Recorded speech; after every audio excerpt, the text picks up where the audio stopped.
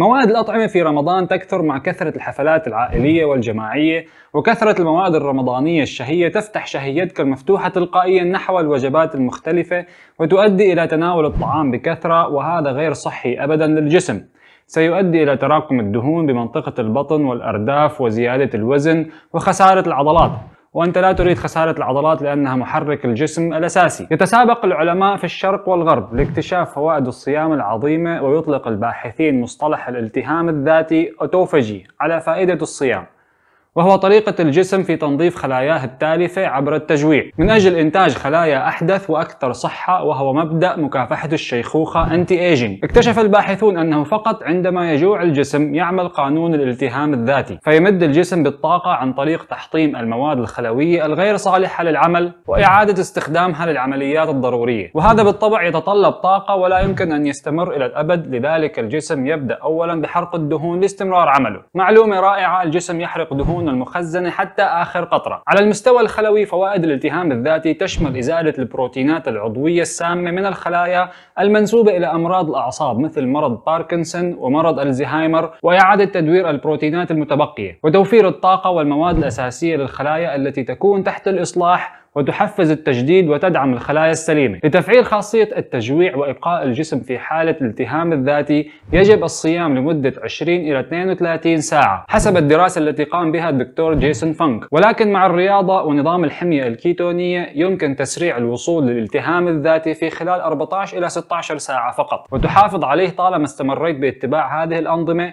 وكلما زادت فترة الصيام زادت فترة عمل الالتهام الذاتي ويتوقف مع أول لقمة تضعها في فمك. ما هي قواعد الحمية الكيتونية وكيف تستغل صيام رمضان لمصلحة جسمك وإطلاق طاقاته لأعلى مستوى؟ تابع معي عزيزي المشاهد حلقة جديدة من دقيقتين عافية. سبب معظم الأمراض بسيط وهو العادات والاختيارات الغذائية الخاطئة. اشترك بالقناة إذا أردت أن تستثمر صحة جسمك. You are what you eat. وخلينا نبدأ بصلب الموضوع.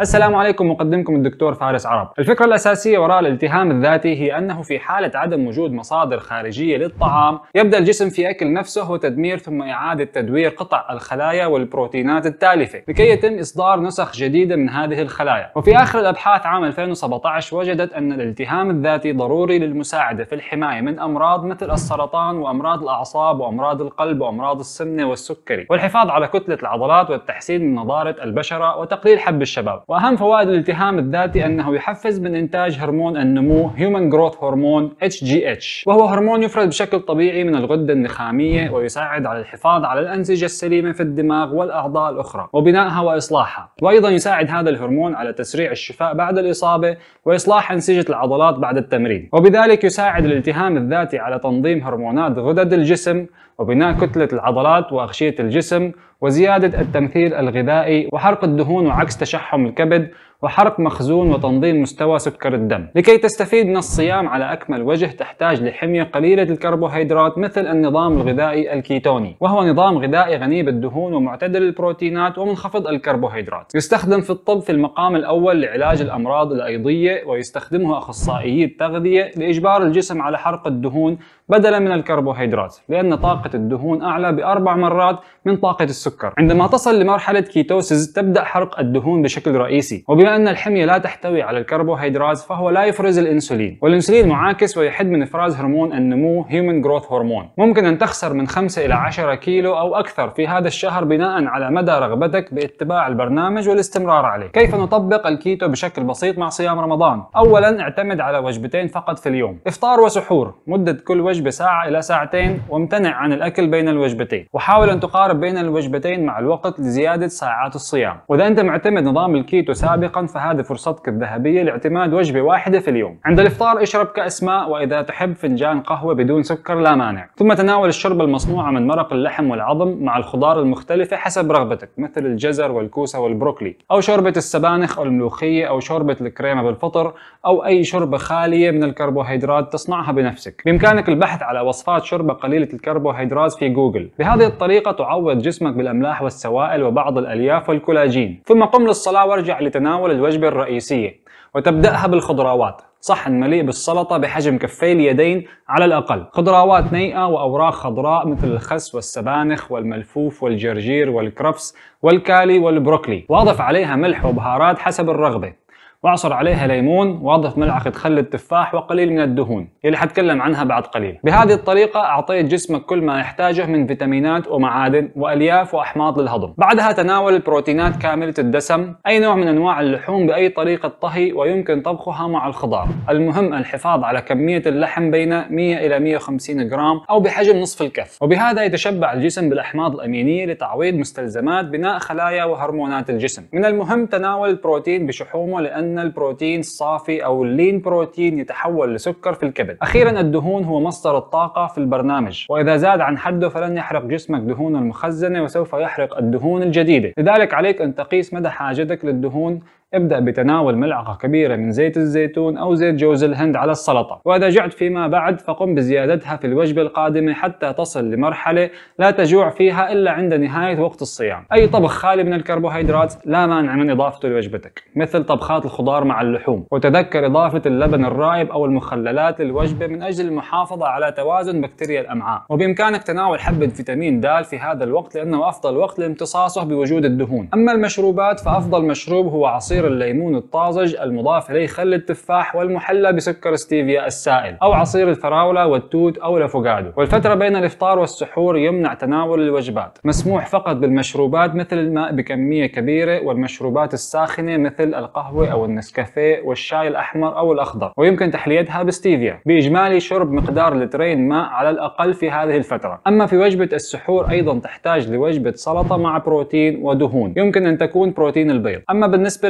الحلويات بإمكانك صناعة حلويات خاصة بدون إضافة مواد كربوهيدراتية. واستخدم سكر زايلتول أو إريثريتول في صناعتها ويوجد وصفات كثيرة ابحث عنها في جوجل بعنوان حلويات كيتو أو حلويات قليلة الكربوهيدرات. وهي الحلويات التي أنصح بتناولها لمرضى السكري وتجنب كل الحلويات المصنوعة من السكر المكرر. الأطعمة الممنوعة في برنامج الكيتو هي كل الأطعمة المعالجة وعالية المحتوى من السكر وعالية التسكر لأنها ترفع إفراز هرمون الإنسولين الانسولين وتنهك عمل البنكرياس وترفع خطر الإصابة بمرض حساسية الأنسولين أو السكري النوع الثاني. مثل الحلويات بكل أنواعها والمشروبات الغازية والعصائر بكل أنواعها والنشويات مثل القمح ومنتجاته الخبز الأبيض والأسمر والبر البسكوت والشعير السمبوسك والمعجنات بأنواعها الأرز والشوفان والمكرونة بأنواعها البطاطا ومنتجاتها الذرة ومنتجاتها. وأيضا منتجات قليلة الدسم من الألبان والحليب لأن تركيز اللاكتوز فيها مرتفع وأيضا الفواكه لأنها عالية بسكر الفركتوز المسموح من الفواكه فقط الفراولة والتوت والأفوكادو والليمون. أما بالنسبة للمكسرات يجب أن تكون غير مملحة وغير محمصة مثل اللوز والجوز والبندق والمكاديميا والصنوبر وبذور الكتان أو flax seed وبذور البطيخ اليقطين ودوار الشمس. ويفضل نقع الجوز بالماء 12 ساعة قبل الاستهلاك لكي تتبرعم. أخيرا بالنسبة للتمر في رمضان لأن التمر من السنة ويحتوي معادن كثيرة أهمها الحديد والبوتاسيوم ومغنيسيوم وفيتامينات باء والألياف ومضادات الأكسدة. لكن التمر في برنامج الكيتو ممنوع لأنه يحتوي سكر بنسبة عالية. يوجد أنواع كثيرة للتمر بعضها عالي بمحتوى السكر مثل العجوة وبعضها متوسط السكر مثل التمر المجدول وأقلها تسكرا مثل التمر الصقعي. إذا أنت ناوي تنزل الوزن في خلال هالشهر فلا تتناول التمر لأنه عالي التسكر.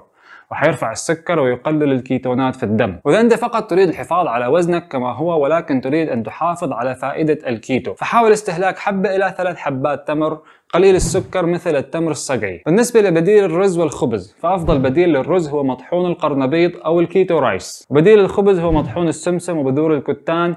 راح أترك الوصفات في صندوق الوصف. وكل عام وأنتم بخير وينعاد رمضان الكريم علينا وعليكم جميعا بإذن الله تعالى. هنا نهاية الحلقة. عزيزي المشاهد لا تنسى تشوف الحلقات السابقة وانتظر الحلقات القادمة. اشترك بالقناة واضغط زر الإعجاب واكتب لي رأيك بالتعليقات. المصادر بصندوق الوصف. معكم الدكتور فارس وبشوفكم بحلقة أخرى بإذن الله تعالى. وأتمنى لكم دوام الصحة والعافية.